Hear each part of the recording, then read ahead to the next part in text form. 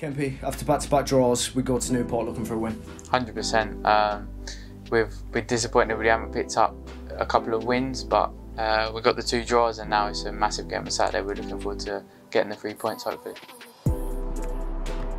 And since the gaffer has been put in, this is his first week of having, you know, no midweek game. But you must have been had some real good time out, out there on the training field. Yeah, no, definitely. It's been a really good week of training. Um, we've had a bit of time to prepare fully for a game, which has been nice. You know, um, to have a few days training and getting to know exactly what we want from the game on Saturday. So it's been a really, really positive week, and we're looking forward to Saturday.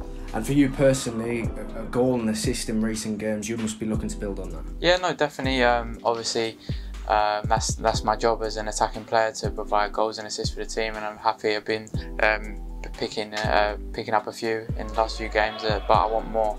Um, I'm hungry for more, and uh, I'll be looking to uh, produce some more good moments in the next couple of games. Newport are right at the top of the table, real good team. What do you think we can expect from them this weekend? I think uh, we've seen, we've seen playing against Newport over the years like they're a team that likes to have the ball. They take risks, um, but they're also quite progressive with their football. They have some good technical players, um, but there's definitely some areas in which we can hurt them, and that's what we've been working on. And uh, we look to do that on Saturday. It's a neutral venue. It'll be at the Cardiff City Stadium, which will be a really good facility to go and play your football. No, definitely. Um, the some of the pitches this season have been difficult to play on at times, but uh, that there's no excuse for that on Saturday. I think it's going to be a great venue, and uh, we'll look to get uh, hopefully be able to show our best football.